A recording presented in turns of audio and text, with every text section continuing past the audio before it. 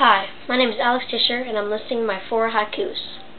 Tycho Brahe was geocentric, spotted a supernova, had a metal nose.